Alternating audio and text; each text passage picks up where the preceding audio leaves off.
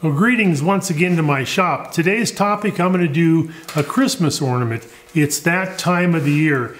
It's the end of September, but my club, the Worland Wyoming Woodturners, is getting ready for the Festival of Trees in November. And we are starting to turn ornaments.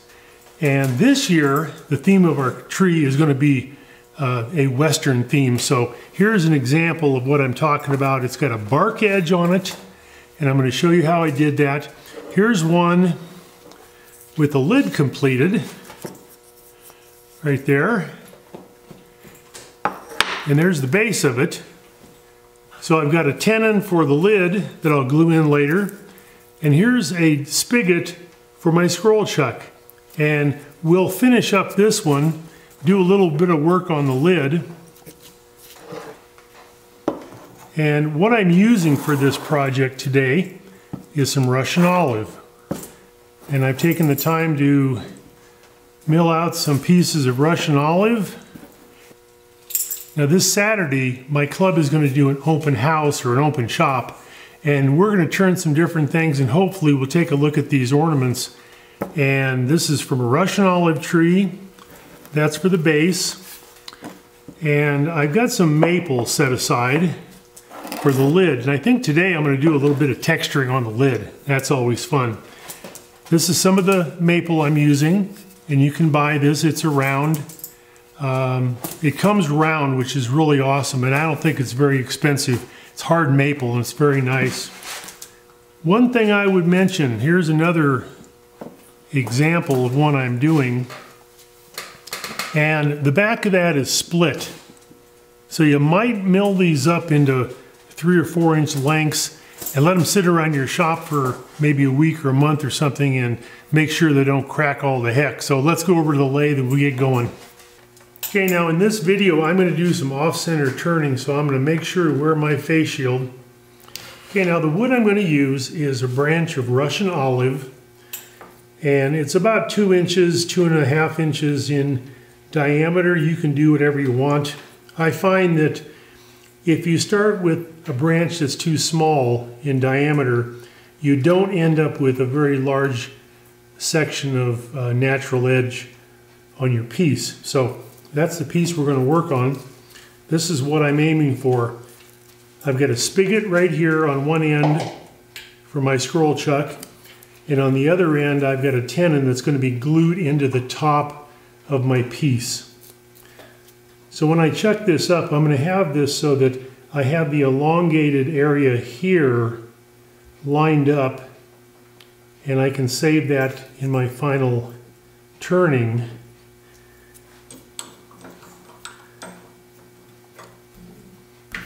Make sure that's locked in very nicely. Now one thing I learned from Nick Agar, this is my knockout bar but it also makes a very good knock-in bar. I'm using spur center right here and a live center, of course, on the other end. So I'm going to just knock that in. And I've got this bar through the headstock. You can't see that, but it's a good thing to do. It's a really nice. Get in there securely and make sure you're locked down lock that knob in, and we're ready to go. Now, I want to make sure that I get all the steps in this, step by step. I may cut some of this out, but one of the most important things is profiling this bark. And I'll do that as we go along here. The first thing I'm going to do, make sure my wood clears my tool rest. All right. And I've got the dimension of my spigot and my tenon marked on my vernier calipers. So I'm going to just start turning a little bit on each end and get those down to that dimension. Now as I start this, I'm going to turn my lathe on fairly slow and build up.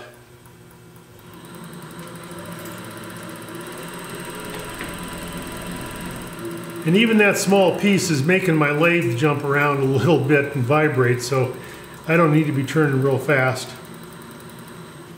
Now the tool I'm going to start with is a relatively small parting tool. I like this tool, it gets really sharp on the end. I've got the, the end angled a little bit and I'm gonna make my initial cuts with this.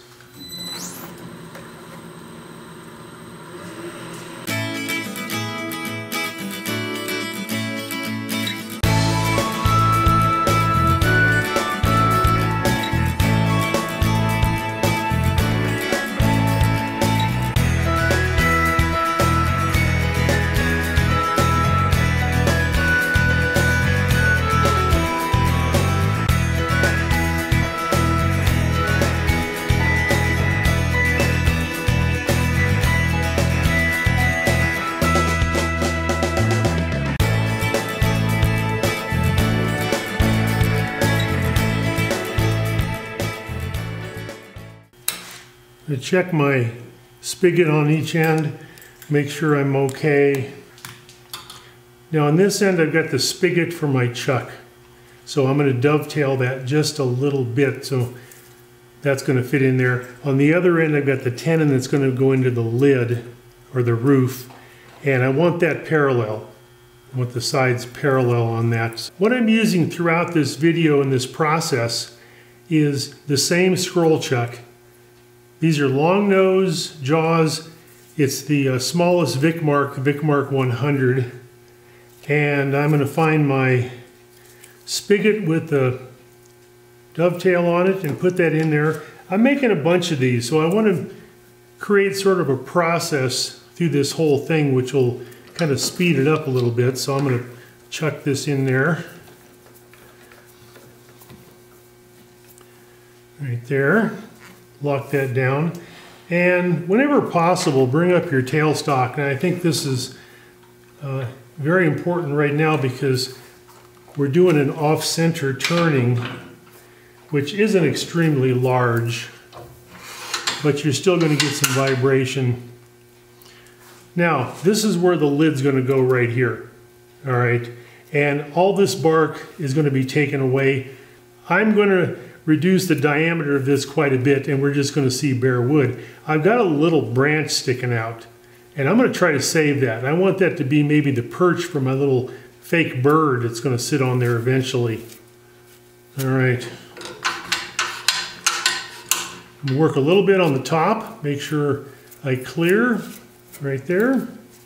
And the tool I'm going to use right now is a quarter inch Cindy Drozda detail gouge. And I found that the bark will fray off a little bit. And if I use this and go in there at a cutting angle, that prevents that uh, bark from fraying off.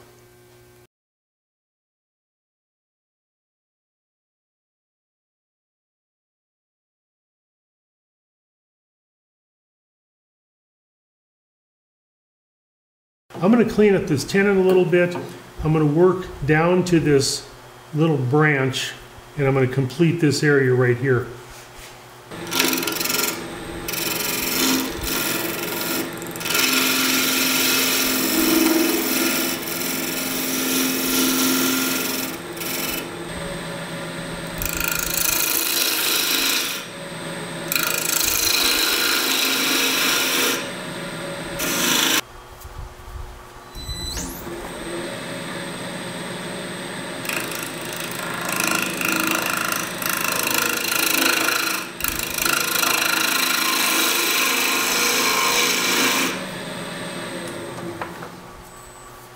All right, I think that's about as far as I dare go next to that branch. That's going to look pretty cool. I'm going to come down here and do a little bit of work. Move my tool rest, get that in position. Make sure I clear everything right here. And I turn my speed up a little bit. I'm probably turning maybe a thousand RPM, not real fast. But again, I'm going to use this detail gouge, and that's cutting the bark very cleanly. I like that a lot.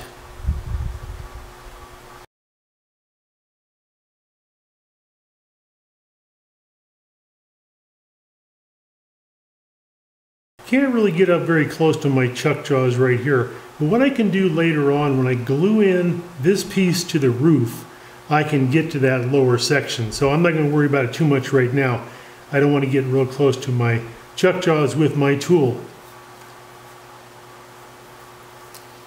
Now I'm going to do a little bit more work on this. I think the tool I'm going to go to now is my quarter inch bowl gouge. One of my favorite tools for doing small work like this. This particular tool is a D-Way just a sweet tool. Nice short little handle on it, and that's all you need for that.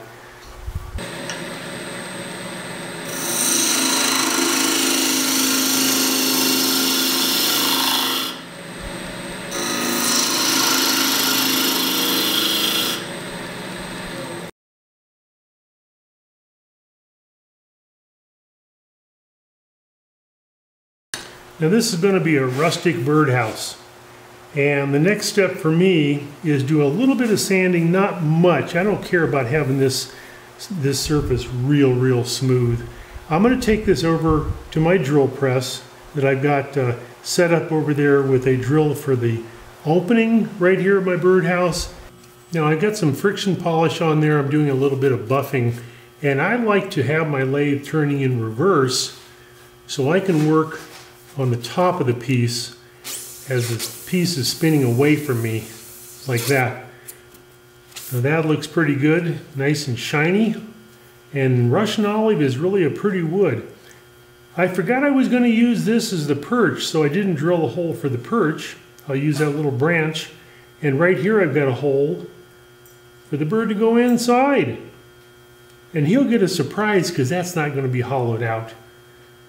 If I want to get real fancy on some of my better ornaments maybe. I might hollow those out.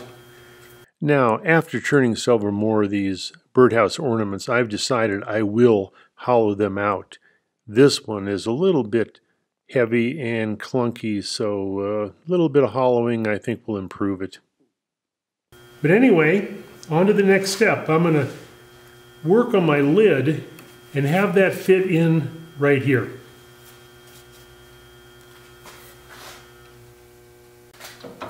I am ready to turn my lid and I've already put a tenon on that for my chuck.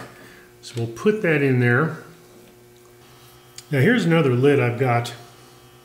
And I've got an expansion recess right here in the bottom of the roof, or the lid. It's going to sit in this orientation, like that. This will be the bottom, this will be the top. So the first thing I need to do is form an expansion recess there that's going to fit into the corresponding tenon on the base of my ornament. That's not the right one, but uh, here we go. And that'll fit in there like that. All right, so this base will go into there and I need to match that tenon up and make an expansion recess right now.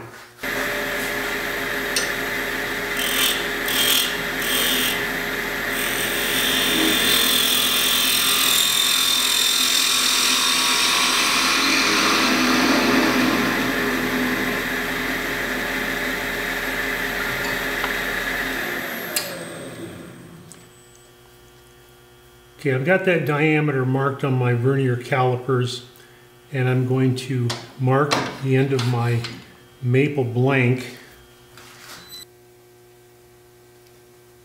Now I've made a mark with my calipers and I've highlighted that with a pencil and in the end camera you can see that I'm a little bit off.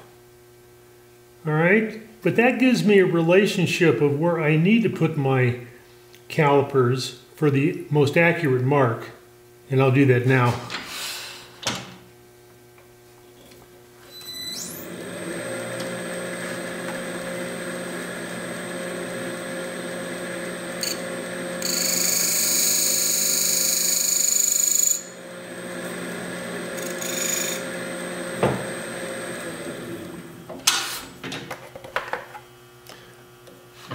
So there we have it.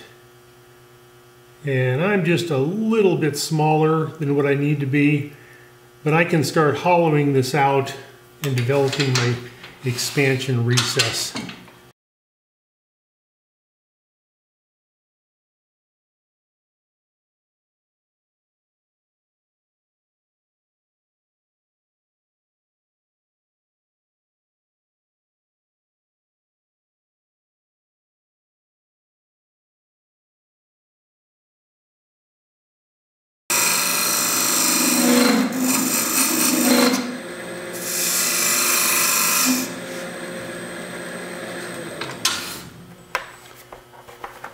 So I'm gonna just take my first measurement. There's my ornament.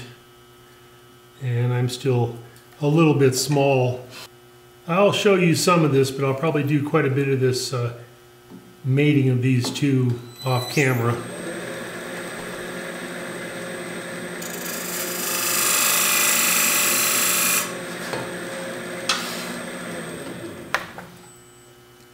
If you watch my videos, I've done this dozens of times, so I'm not going to spend a lot of time on this. Still a little bit small.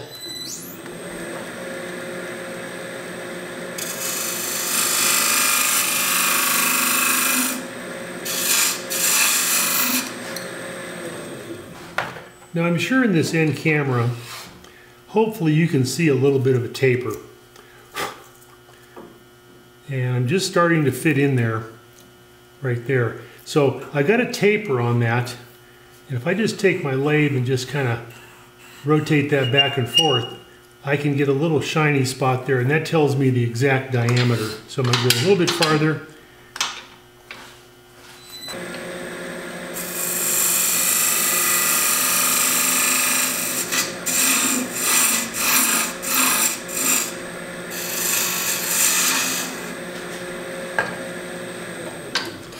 And I'm simply taking off more of that taper. Really close to that, so let's do one more cut.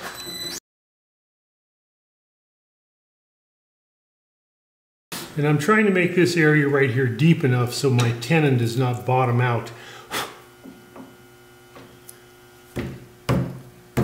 All right, I think I'm gonna call that good.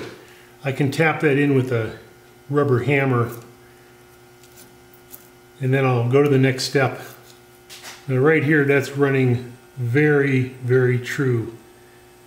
And I'll show you the next step that I'm going to do. I'm going to bring up my tailstock. And it's an important thing if you just use the same live center that you started the project with, it'll always line up down here.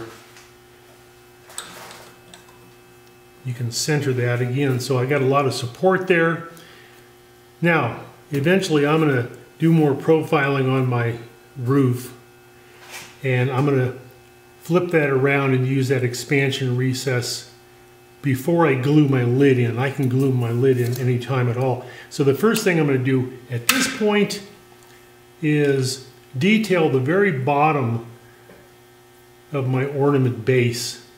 And since I've got a little bit of thickness here, I'm going to just use that for a little bit of a detail and I think I'll just make a little point down there.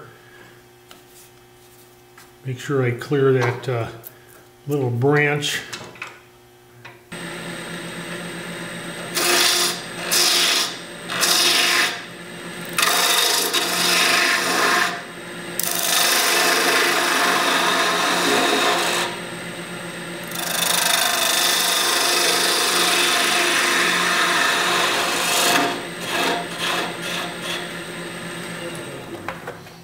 There, didn't take long at all. Now one thing I'm going to do, and you can probably see it in this camera a little better, I want to reduce the thickness of this just a little bit.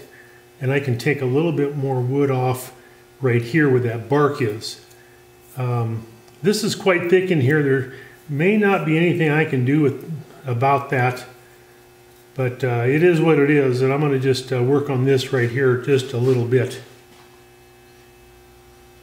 And one more point, I can see the profile of this branch. So when I set my tool in there, I can make sure I don't hit that.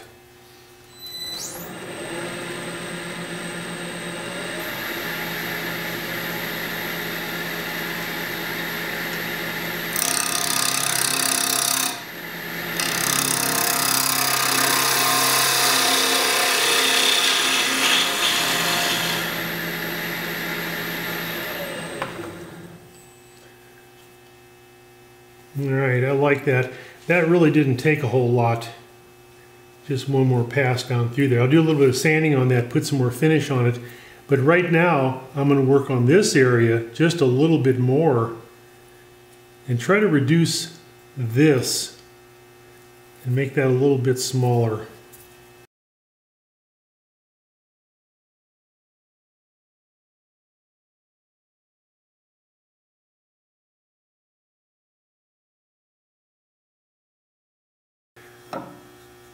This is an Allen Laser scraper. If you ever want to buy a really, really nice scraper, this is probably the one to pick. That's a dandy. But um, a little bit easier to get in there with my scraper than with that uh, little bowl gouge. So I'm going to do a little bit more sanding on that. I messed up my finish. And I'm going to do a jam chuck, take my tailstock away, and finish up this little point down here. First, little sanding. And I'm to turn in reverse. Now, I've got a lot of stuff going on here, okay? And I don't want to run into this branch or this area right here with my fingers. So I've got a sanding stick that has a saw kerf down the center of that. I'll just take my sandpaper. And this works very well on the inside of lidded boxes and such. So I'll just take that and uh, kind of fold that over a little bit. And I can get in there and get in there with that stick and not my fingers.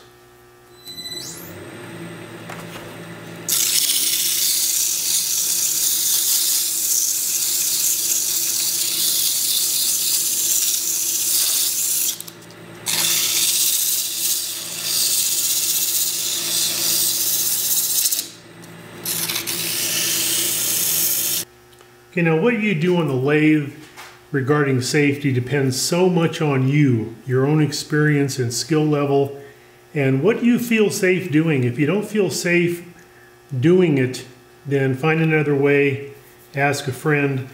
Um, I'm wearing a face shield, all right, and I feel this is really pretty safe. I'm going to take my tailstock away right there take that away and just work on this little tip right here and clean that up. I got a hole in the bottom of that I want to get rid of.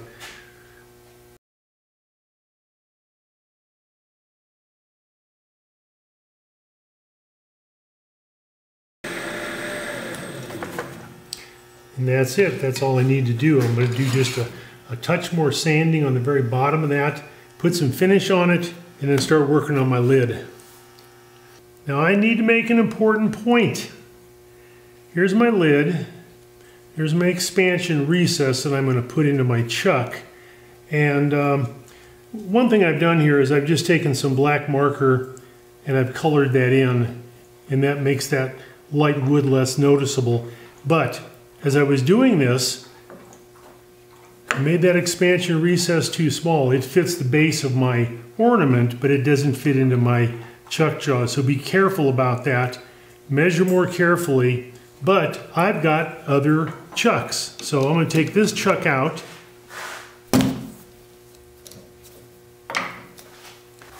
And I'm gonna put another chuck in that will fit this expansion recess. These are simply some pin jaws that will open wide enough to accommodate that recess. Now this is another important point here. I'm going to bring my tailstock up through most of this process.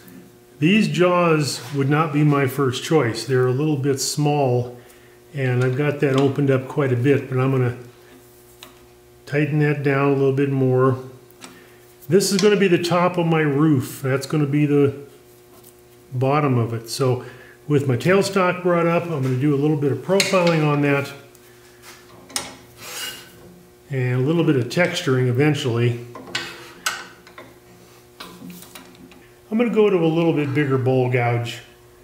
I've got quite a bit of wood to take off, so I'm going to just make this into a little bit of a, a cone shape.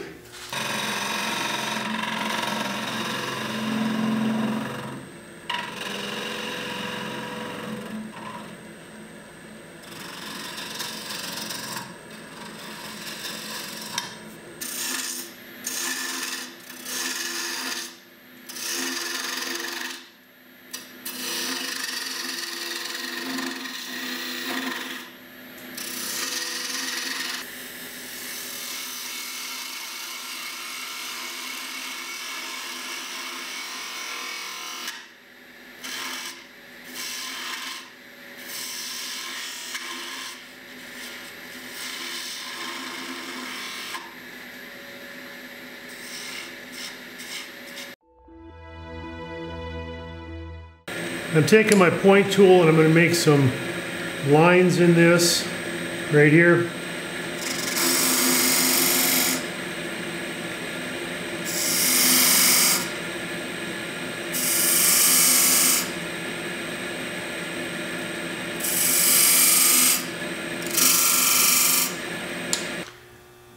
Now I'm going to take a wire with a couple little balls turned on the end. Don't ever wrap this around your fingers when you do this. Okay, I'm going to hold that uh, just lightly. I'm going to hold it in these grooves and create a little bit of a burn mark on there.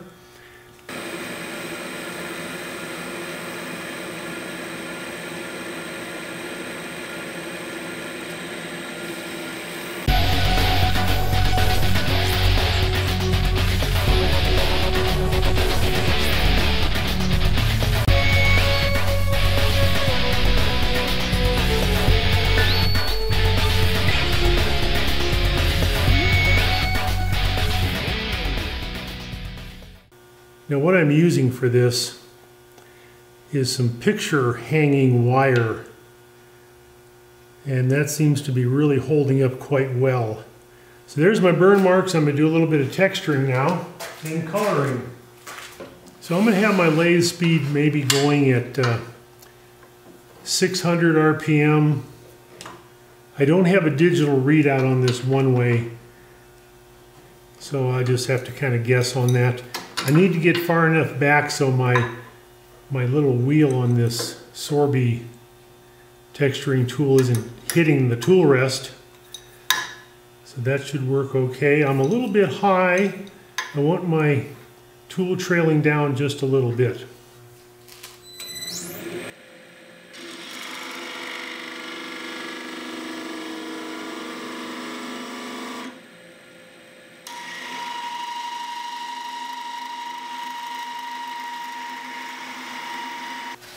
Now I think I'll start out with a little bit of green.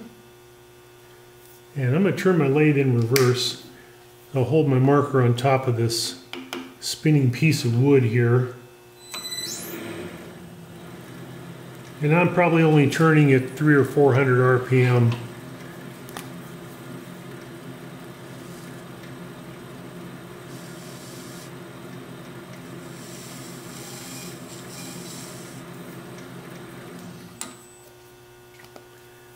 Okay.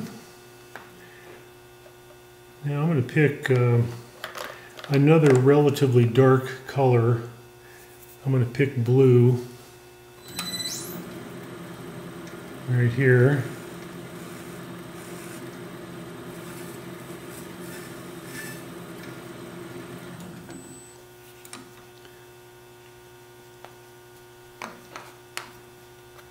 Now I'm going to pick uh, pink do some lighter colors and what you can do is you can go over the top of these. Maybe a little bit right here where I where I didn't hit that. Right there. The fun part about this is you can do whatever you want to do. And this is a great project for kids. If you have a five-year-old that you don't want actually turning on the lathe they can hold that up there pretty safely and do a little bit of coloring. Well, that's uh, that's pretty wild, but that's okay. It's Christmas in only three months, and I think that'll be kind of a fun little ornament. And if you don't like this, you can do something different on the next one. I'm gonna I'm gonna pick one more color. Now I'm gonna do some of this off camera, and I'll show you the finished lid as I mentioned before, I've got a point in the very top of that for my eye hook. And I just need to put a, a little drill hole in that.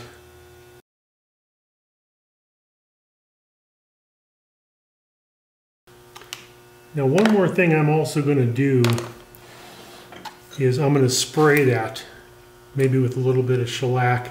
You're better off spraying this than rubbing on something because you'll smear your colors. So do a little bit of spraying. Well, I hope you enjoyed the video. I hope it gave you some ideas for Christmas ornaments. This is a little bit crazy, but uh, that's okay. I like it, and I think the birds will too. So I'll talk to you next time. Thanks for tuning in.